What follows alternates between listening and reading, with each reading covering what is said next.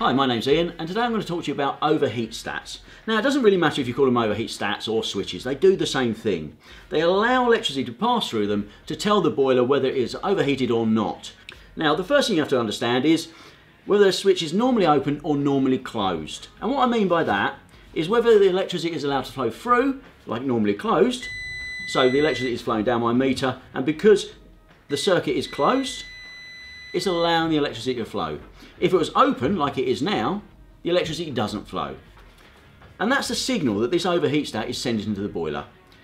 When it is normally closed, it's allowing electricity to pass through, just like this one here, telling the boiler that it's not overheated. Once it reaches the set temperature, it goes normally open. And in the same test, I won't get the beep. I'm using a simple continuity test so if it beeps, it's good. The overheat stat is closed.